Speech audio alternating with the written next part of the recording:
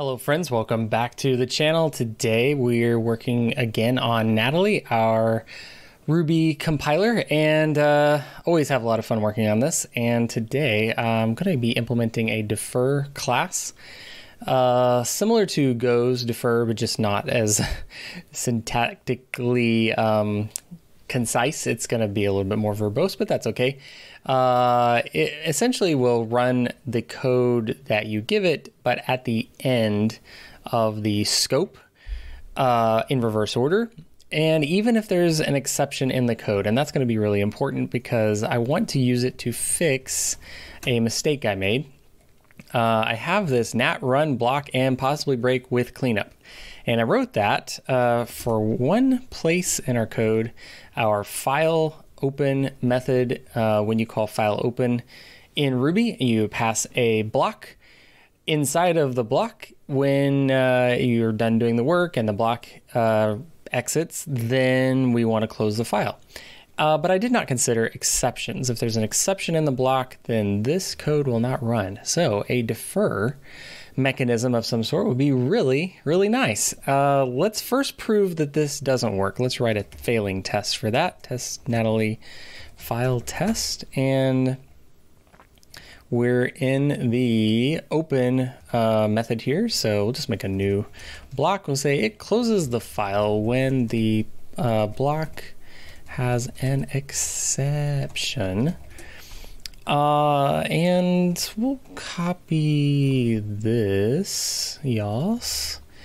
And then inside of a begin rescue, because we don't want the error to bubble up and break our test, uh, we'll do a file open path right do, uh, yeah, do f, um, f dot puts hello world, raise some error. And then I need a way to capture this. Uh, unfortunately, the open doesn't return, so I can't say file equals like this. So I think I'll just have to do file equals nil, file equals f, because this is the file passed in here to the block. It's a little bit janky, but it'll work. And uh, file.closed should equal true. And we'll run this through Ruby first. Uh, file It passes with flying colors, of course. Uh, we'll run make bin and we'll run the same test there. And uh, yeah, we'll see see what it says. Well, okay, here we have a failing test. This is perfect. We have proven my theory. False should be equal to true. Um, this should be closed. This file should be closed. So let's go fix it. Let's go fix it. Uh, first, we need to defer. So uh, include tm defer dot header hpp. Uh, what do, what do I do? I think I do name. Well, let's first do pragma once, and then we'll do namespace Natalie. Nope, namespace tm. I think that's what I did. tm um, vector. Uh, yeah, namespace tm, and then we'll do a class defer uh, it's going to be a template, template type name. We're going to pass a function uh, in as as the callback, and I have to say I was uh, heavily inspired to do this by Serenity, the operating system Serenity. Uh, and Andreas Kling has a class called Scope Guard that I am shamelessly borrowing. Uh, there is plenty of other defer C++ code out there in the world. There's plenty of prior art for this. Um, I just wanted to write it myself. I think it's more fun. But I guess we'll pass in the function here. We'll call this a callback. Callback? Yeah, that's fine, I think. Uh, we do need a place to put it, of course. So I'll make this public, make this private. My indentation is all messed up. Um, we'll say fm callback like so, and we'll say m callback, callback, and great. And then the magic part of this is we want a destructor. So in this uh, when this class goes out of scope, we want it to be destroyed, and then we're going to run the callback like so, and hopefully I did that right. The indentation got all fixed. Uh, I mean, it's pretty simple, I think, unless I missed something, but let's just see if it works. We'll go over to uh, file value header and we'll use it here. Uh, let's see. So tm defer, put you in the right order. Uh, and then right inside of here where we're saying if block do this code, I think this is where we want to um, create a uh, close file defer. And we want to give it a lambda uh, and then this inherits from IO value header. So let's go, uh, yeah, m file no. Uh, should I pass? Hmm, hmm, hmm. Let's pass in the whole thing. Let's pass in obj. Yes. And let's do obj close. I think I have to say as file. Is that what I'm missing? Is that what I'm missing? What am I missing here? What am I missing? Uh, object. That's the file. Hmm. Hmm. As file close. I mean, I'm doing it right here. Uh, I didn't pass in the environment. Oh, I do need to capture that as well. Uh, okay, you didn't like that either. okay. I'm a little confused. Obj as file close.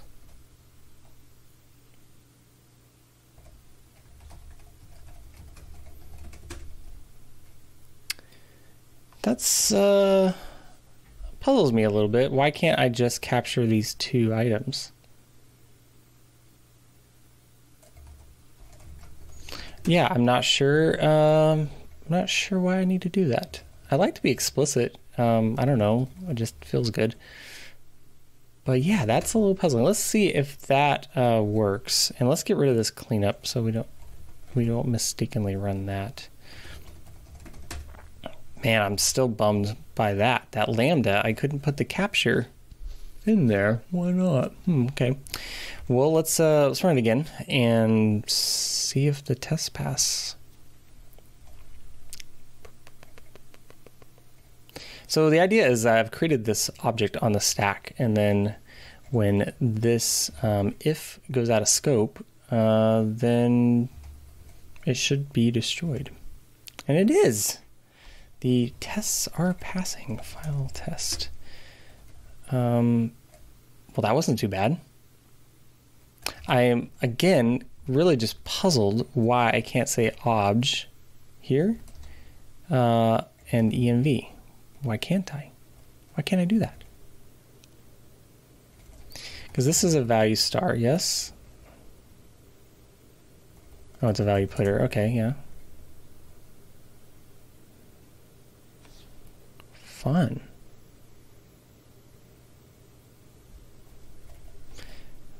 File obj file value star equals file obj is obj um, as file. Just curious, file obj. Does that work? No, doesn't work either. Oh, I did this wrong.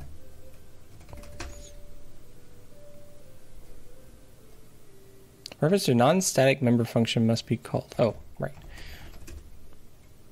So that fixes it as well. I can't capture I can't capture my my smart pointer. Why? Okay, I'm putting it back. I'm putting it back. I'm happy with this code. I guess it's fine. It's a little. I, I obviously there's something here I don't understand. Um, my smart pointer, which is a value putter, cannot be captured in this Lambda. Don't know why. If you know why, let me know in the comments. I, I obviously I'm always learning. Um, pretty new to C++, so I've, there's a lot to learn there. Uh, but I did just want to look at this again. I mean, look how simple that is. That's so cool. Um, I mean, you could obviously, you know, make this more Go like. Uh, if you used a macro, you could do something more like this. Um, but Andreas said uh, in his stream I watched uh, yesterday, he it, it makes sense for this not to be hidden from like we want to know exactly what's happening. Uh, we're creating a temporary object and we're passing a lambda into it and it goes out of scope and it runs the lambda. So i think that's a little bit clearer. Anyway all that i think that uh, we can get rid of uh, this one. We can get rid of this with cleanup because we don't use it anywhere else uh, I can get rid of that um, and then that means that this cleanup code can also go away. Bam, bam, bam. Uh, and then this doesn't need to be there, and this doesn't need to be there. Okay, well, I'm going to run the whole test suite, and we'll come back, and if everything passes, then awesome. I feel really good about that. Uh, really short video. Um, not a lot to it, I guess, uh, but it feels good. It feels good to fix bugs and um, use a new, newly learned technique for me. Uh, this is just such an elegant solution. I think it's so cool, and it's using uh, just the semantics of the language itself uh, to make something we want and something we need. And this is just awesome. Just awesome. Yay! Test suite is passing. That's always a good feeling. Let's commit all this. Commit, uh, defer, make sure I didn't leave any test, weird test code or printfs or anything in here. I like to check through. Uh, so let's add tm uh, defer class and fix bug in file uh, dot open. Um, the file was not being closed uh, when there was an exception raised uh, raised in the block. Also, this lets us get rid of the very weird nat run block and possibly like with cleanup macro. Yay! Uh, that's so cool. That's so cool. So, uh, I guess that's it for this video. Uh, I did want to mention that we hit 2,000 commits on Natalie, which to me is mind blowing. Uh, a lot of contributors lately, a lot of pull requests. We are we've closed 68 pull requests. A lot of those in the last uh, week or two. Uh, yeah, so momentum seems to be picking up, and uh, now's a great time for you to jump in and contribute if you are interested. I have a video on my channel a uh, couple videos back uh, called Enumerable Ruby's Innumerable Methods or something like that. And it will tell you how to contribute if you want to write some Ruby uh, or if you want to write some C. You saw how we did that in this video. But my goal is to get this up to 20 contributors by the end of 2021 and I would love for you to be the 13th or 14th or whatever you whatever number you want to be. Uh, but if you would be in that 20, I would appreciate it because I know that's sort of an artificial milestone, but uh, I don't know. It just feels like we're a real project if we have 20 contributors. I don't know. I don't know if that's true or not. Uh, anyway, thanks for hanging out today. I hope you learned something. I hope that uh, you can tell me why that capture in the Lambda didn't quite work like I thought it would. Um, yeah, that I'm probably going to be googling that, but you might save me some some trouble if you know the answer. You can just comment below and please like the video. I never asked for that, but like the video if, if you do and if you did enjoy it. And I will see you in a later video. Bye.